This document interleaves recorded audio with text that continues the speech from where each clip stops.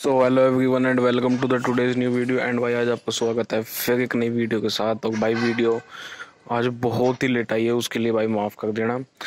भाई, कुछ काम से बिज़ी था, इसलिए वीडियो लेट आई थी, लेकिन भाई, जो आप ये आज वीडियो है, इस पर भाई पूरा प्यार दिखाना। हो भाई, बहुत से भाइयों के लिए धन्यवाद, जो इतने दिनों से इतना अच्छा प्यार दिखा गया है। तो भाई चलिए वीडियो को स्टार्ट करते हैं। तो भाई मैं बता दूँ, ये है Hero Honda C D Deluxe hundred C C और आज इस और आज इस बाइक को पंद्रह साल के अराउंड हो चुके हैं। सारी बातें क्लियर करूँगा भाई, पंद्रह साल में क्या इसमें खर्चा आया, क्या आया, सारी बातें। तो भाई चलिए वीडियो को स्टार्ट करते हैं। तो भाई सबसे पहले बात बात करूँ मैं भाई इस बाइक को। पंद्रह साल हो चुके तो भाई आप कंडीशन तो देख ही सकते हो। पहले आप कंडीशन देख लो भाई।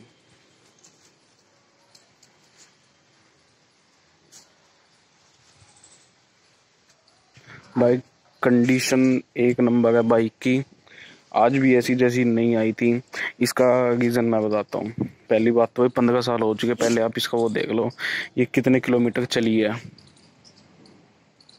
इक्कीस इक्कीस हज़ार चली है भाई। इक्कीस हज़ार चली हुई है और आप देख सकते हो मतलब पंद्रह साल में ओनली इक्कीस हज़ार। भाई इतने तो लोग आजकल दो तीन महीने में चला देते हैं। इसका रीज़न ये है कि भाई, ये बाइक बहुत ही कम चली है, बहुत ही जिसको बोलते हैं ना, बिल्कुल ही कम। और दूसरी चीज़ कि हमने जैसे बच्चे को संभालते हैं ना, ऐसे इस बाइक को संभाला। भाई, इस बाइक पर खरोच भी आ जाती है ना तो बस साथ के साथ ठीक। अभी हालाँकि आई नहीं है अभी तक इस पर ये लक्की बाइक है। और दूसरी चीज़ की मतलब जैसे मान लो मैं भाग आया हूँ तो ये देखो टैग गंदे हो गए। एक जाते के साथ धुलेगी।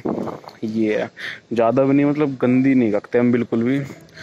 और मतलब चलाते तो बिल्कुल है ही नहीं काम से। और गड्ढों वड्ढों में बहुत ही स्लोली स्लोली मतलब प्यार से बिल्कुल, जिससे बाइक को कोई तकलीफ़ ना आए। ये रीज़न है। और भाई, मेरी आपसे रिक्वेस्ट है कि भाई आप भी अपने व्हीकल को थोड़ा संभाल के चलाएगा तो भाई। अब मैं बताता हूँ, देखो भाई। ये दो पंद्रह साल हो गए तो भाई ये दो हज़ार, पता नहीं, है तो पुराना मॉडल तो ये पहले आता था। इस, कुछ इस टाइप का आते थे ये। जो अब जो न्यू सब न्यू सबलेंडर आ गई, उसमें थोड़ा चेंज हो ताड़ी आती थी।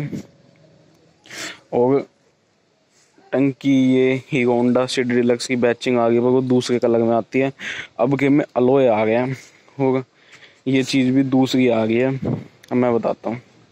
पहली बात तो इसमें देखो फ्यूल की मीटर नहीं है।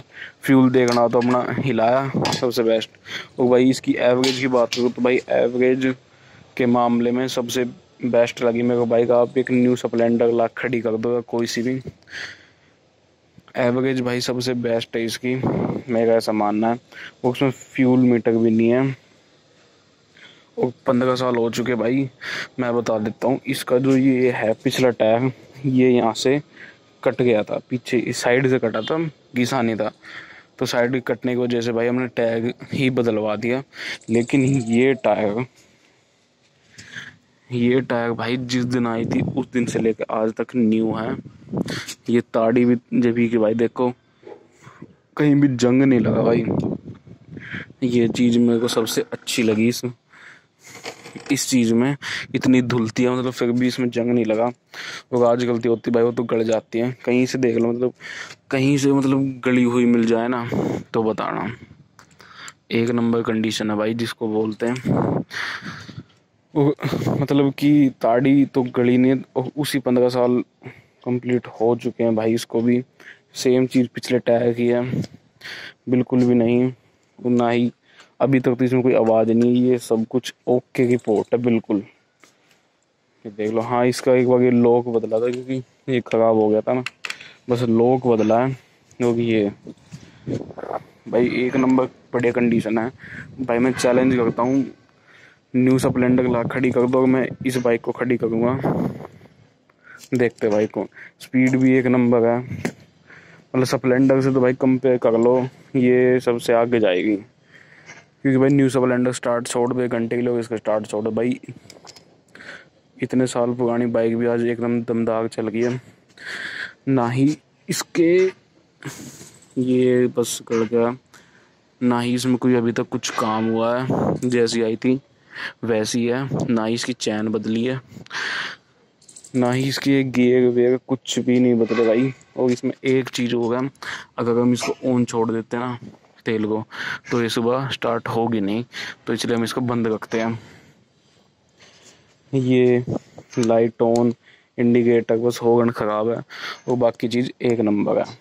क्लिच भी क्लिच का तार एक बार बदला हुआ है। रेस का नहीं बदला हुआ रेस का जिस दिन से है, उसी दिन से वैसी है। सबसे मेन बात, ये बॉक्स है ना।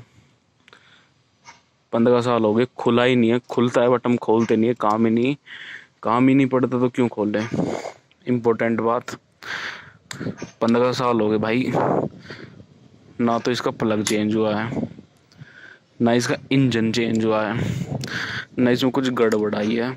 ना ही कोई वायरिंग की दिक्कत, ना ही कुछ। एज इट तो भाई ये होती है मतलब बाइक को संभालने से मतलब कितने बेनिफिट हो गए मान लो हम इसी को एक साल में तोड़ ओड़ देते, गड्ढे उड्ढे में तेज चला गए।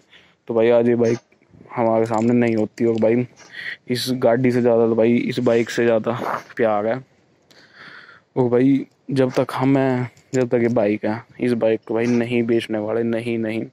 वो भाई आजकल स्प्लेंडर की डिमांड भी काफ़ी ज़्यादा है तो भाई अपनी बाइक को सिक्योर रखो, जितना हो सके। कहीं हम तो इसको लिकाट देने, बस काम के लिए। और इस पर कट्टे आते हैं उसके। जो गाय, भैंस रखता हो, उनको पता होगा, उनको बिनोड़े खड़ाते हैं। चालीस चालीस किलो के इस पर कट्टे। ना ही इसने कोई दबाव माना ना ही कुछ। वो देखो यहाँ खड़ी है, मैं भी वो भैंसों के लिए लेने आया था तो भाई मैं इसके यहीं खड़ा हूँ, कोई ले ना जाए। हम कहीं भी ले जाते भाई, इसके साथ खड़े रहते कभी कोई इसको लेके ना चला जाए। तो भाई, अब आप भी अपनी बाइक को भाई अच्छे से रखो। हम तो भाई इसको बिल्कुल पॉलिश वॉलिश करके बिल्कुल नई बना के रखते हैं। कोई भी बंदा देखता है तो भाई ये ही कहता है, सीधी सी बात कि भाई बाइक को चलाते हो या नहीं। भाई यही रीज़न है। अभी देख लो भाई ओवर लुक देख लो, ठीक है?